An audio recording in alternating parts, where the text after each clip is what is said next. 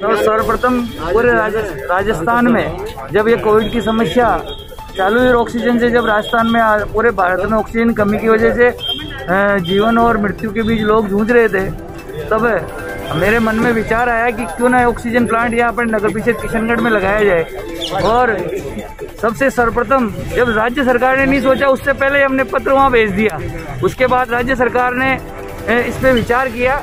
विचार करने के पश्चात पूरे राजस्थान में जहाँ स्वच्छ शासन विभाग की नगर पालिकाएँ सक्षम है, वहाँ उन्होंने नगर ऑक्सीजन कंसेंटर जो भी जिस क्षेत्र के हैं तो अपने पिछहत्तर किशनगढ़ में जिला चिकित्सालय पिछहत्तर सिलेंडर का हॉस्पिटल में कंसेंटर प्राकृतिक रूप से ऑक्सीजन बनाने वाले, लगाने की स्वीकृति प्रदान की। सर्वप्रथम राजस्थान ने पूरे राजस्थान में दूसरा नंबर राजस्थान का है पैसा जमा कराने में। राजस्थान की नगर पालिकाओं में पूरे स्वच्छ शासन विभाग में भरतपुर के बाद दूसरा नंबर है।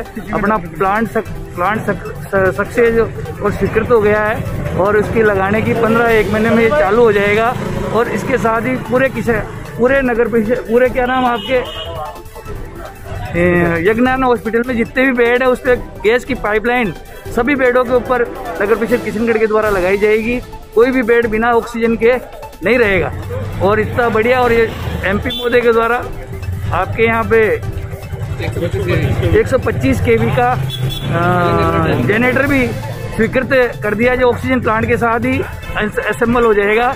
इतनी बड़ी बड़ी, बढ़िया व्यवस्था भारतीय जनता पार्टी के बोर्ड के द्वारा और भारतीय जनता पार्टी के एमपी द्वारा जो की गई है।